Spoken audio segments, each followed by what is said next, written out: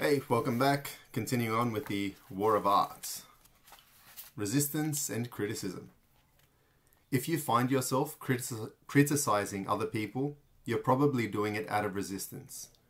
When we see others beginning to live their authentic selves, it drives us crazy if we have not lived out our own. Individuals who are realized in their own lives almost never criticize others. If they speak at all, it is to offer encouragement.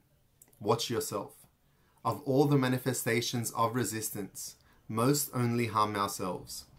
Criticism and cruelty harm others as well. Self doubt can be an ally. This is because it serves as an indicator of aspiration.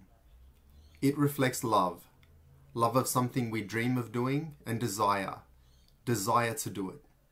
If you find yourself asking yourself and your friends, Am I really a writer? Am I really an artist?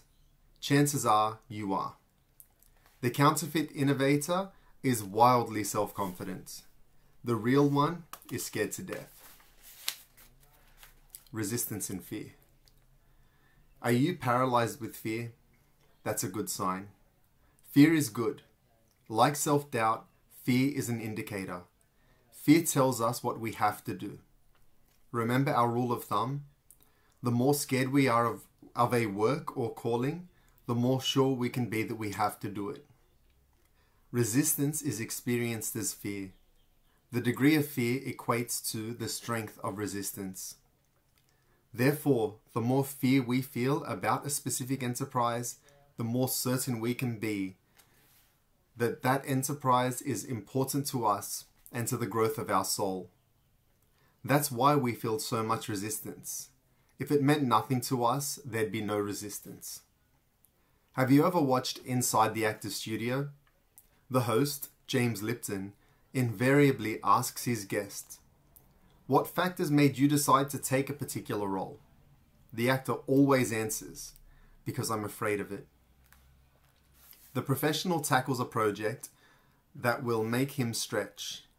He takes on the assignment that will bear him into uncharted waters, compel him to explore unconscious parts of himself. Is he scared? Hell yes. He's petrified. Conversely, the professional turns down roles that he's done before. He's not afraid of them anymore. Why waste his time? So if you're paralyzed with fear, it's a good shine. It's a good sign. It shows what you have to do. Resistance and love. Resistance is directly proportional to love. If you're feeling massive resistance, the good news is it means there's tremendous love there too. If you didn't love the project that is terrifying you, you wouldn't feel anything. The opposite of love isn't hate, it's indifference. The more resistance you experience, the more important your sorry, the more resistance you experience, the more important your unmanifested art project or enterprise is to you, and the more gratification you will feel when you finally do it. Resistance and being a star. Grandiose fantasies are a symptom of resistance. They're a sign of an amateur. The professional has learned that success, like happiness, comes as a byproduct of work. The professional concentrates on the work and allows rewards to come or not to come, whatever they like. Resistance and isolation. Sometimes we balk at embarking on an, on an enter- Sometimes we balk at embarking on an enterprise because we're afraid of being alone. We feel comfortable with the tribe around us. It makes us nervous going off into the woods on our own. Here's the trick we're never alone. As soon as we step outside the campfire glow, our muse lights on our shoulder like a butterfly. The act of courage calls forth infallibly the deeper part of ourselves that supports and sustains us. Have you seen interviews with the young John Lennon or Bob Dylan? When the reporter tries to ask about their personal selves, the boys deflect these queries with withering sarcasm. Why? Because Lennon and Dylan know that the part of them that writes the songs is not them, not the personal self that is of self that is of such surpassing fascination to their boneheaded interrogators. Lennon and Dylan also know that the part of themselves that does the writing is too scared, too precious, too fragile to be redacted into sound bites for the titillation of would be idolaters, who are themselves caught up by their own resistance. So they put them on and blow them off. It is a commonplace among artists and children at play that they're not aware of time or solitude while they're chasing their vision. The hours fly. The sculptress and the tree climbing tyke both look up, blinking when mum calls, supper time. Resistance and Isolation Part 2. Friends sometimes ask, Don't you get lonely sitting by yourself all day? At first, it seemed odd to hear myself answer no. Then I realized I was not alone. I was in the book. I was with the characters. I was with myself.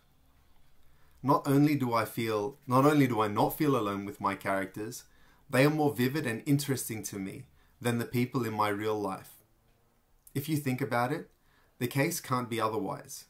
In order for a book, or any project or enterprise to hold our attention for the length of time it takes to unfold itself, it has to plug into some internal perplexity or passion that is of paramount importance to us. The problem becomes the theme of our work, even if, even if we can't, at the start, understand or articulate it. As the characters arise, each embodies infallibly an aspect of that dilemma, that perplexity. These characters might not be interesting to anyone else, but they're absolutely fascinating to us. They are us. Meaner, smarter, sexier versions of ourselves. It's fun to be with them because they're wrestling with the same issues, the same issue that has its hooks into us. They're our soulmates, our lovers, our best friends. Even the villains, especially the villains. Even if a, even in a book like this which has no characters, I don't feel alone because I'm imagining the reader, whom I conjure as an aspiring artist, much like my younger, less grizzled self, to whom I hope to impart a little starch and inspiration and prime, and little, with some hard knocks, wisdom, and a few tricks of the trade. Resistance and healing. Have you ever spent time in Santa Fe? there's a subculture of healing there. The idea is that there's something therapeutic in the atmosphere, a safe place to go to get yourself together. There are other places, Santa Barbara and OJ, California come to mind, usually populated by upper middle class people with more time and money than they know what to do with, in which a culture of healing also obtains. The concept in all these environments seems to be that one needs to complete this his healing before he is ready to do his work. This way of thinking, are you ahead of me, is a form of resistance. What are we trying to heal anyway? The athlete knows the day will never come when he wakes up pain free. He has to play hurt. Remember, the part of us that we imagine needs healing is not the part we create from. That part is far deeper and stronger. The part we create from can't be touched by anything our parents did or society did. The part is unsullied, uncorrupted, soundproof, waterproof, and bulletproof. In fact, the more troubles we've got, the better and richer that part becomes. The part that needs healing is our personal life. Personal life has nothing to do with work. Besides, what better way of healing than to find our center of self sovereignty? Isn't that the whole point of healing? I washed up in New York a couple of decades ago, making 20 bucks a night driving a cab and running away full time from doing my own work. One night, alone in my $110 a month sublet, I hit bottom in terms of having diverted myself into so many phony channels, so many times that I couldn't rationalize it for one more evening. I dragged out my ancient Smith Corona, dreading the experience as pointless, fruitless, meaningless. Not to say that the most painful exercise I could think of. For the next two hours, I made myself sit there, torturing out some trash that I chunked immediately into the shit can. That was enough. I put the machine away. I went back to the kitchen. I, in the sink sat 10 days of dishes. For some reason, I had enough excess energy that I decided to wash them. The warm water felt pretty good. The soap and the sponge were doing their thing. A pile of clean plates began rising in the drying rack. To my amazement, I realized I was whistling. It hit me that I turned a corner. I was okay. I would be okay from here on. Do you understand? I hadn't written anything good. It might be years before I would, if I ever did at all. What didn't matter, oh sorry, that didn't matter. What counted was that I had, after years of running, running from it, actually sat down and done my work. Don't get me wrong, I've got nothing against true healing. We all need it. But has not, it has nothing to do with doing our own work. And it can be a colossal exercise in resistance. Resistance loves healing. Resistance knows that the more psychic energy we expend dredging and re-dredging the tired, boring injustices of our personal lives, the less juice we have to do our work. Resistance and support. Have you ever been to a workshop? These boondoggles are colleagues of resistance. They ought to give out PhDs in resistance. What better way of avoiding work than going to a workshop? But what I hate even worse, even worse is the word support. Seeking support from friends and family is like having your people gathered around at your deathbed. It's nice, but when the ship sails, all they can do is stand on the dock waving goodbye. Any support we get from persons of flesh and blood is like monopoly money. It's not legal tender in that sphere where we have to do our work. In fact, the more energy we expend stoking up on support, sorry, stocking up on support from our colleagues and loved ones, the weaker we become and the less capable of handling our business. My friend Carol had the following dream at a time when she felt her life felt like it was careening out of control. She was a passenger on a bus. Bruce Springsteen, Bruce Springsteen was driving.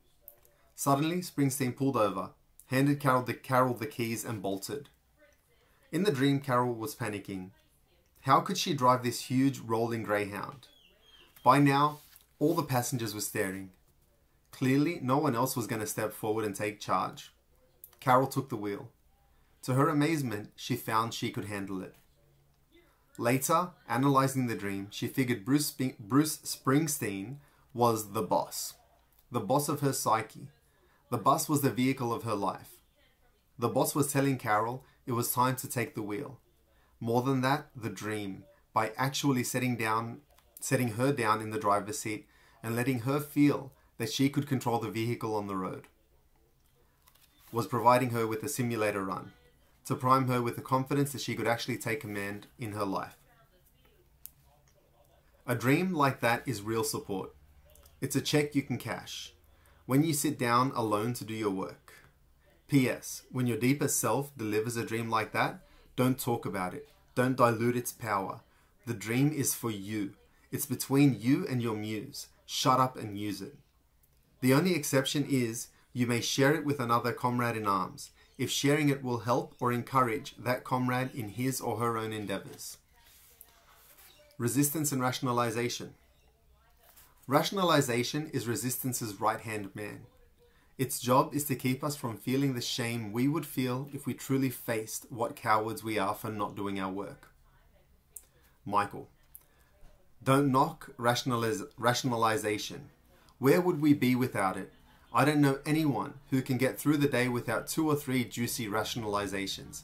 They're more important than sex. Sam. Oh, come on, nothing's more important than sex. Michael. Oh, yeah, have you ever gone a week without rationalization? And that was from Jeff Goldblum and Tom Berenger in Lawrence Kasdan's The Big Chill. But rationalization has its own sidekick. It's the part of our psyche that actually believes what rationalization is what rationalization tells us. It's one thing to lie to ourselves, it's another thing to believe it. Resistance and rationalization part 2.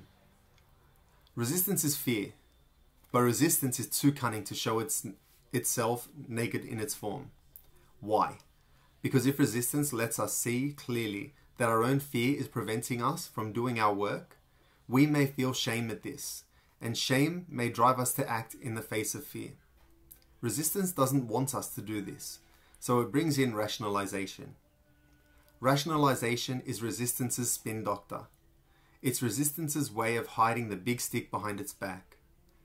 Instead of showing us our fear, which might shame us and impel us to, to do our work, resistance presents us with a series of plausible, rational justifications for why we shouldn't do our work.